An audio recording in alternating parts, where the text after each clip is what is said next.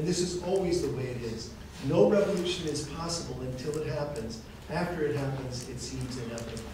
And since that's always the case, and since most of the time, most of the people aren't doing anything, it's up to you to keep your spirits up and to keep the spirits up of the people around you, and to find a way to, uh, to make your voice heard.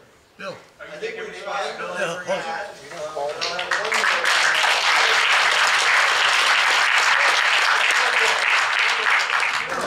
Thank you, more. sir. Over here.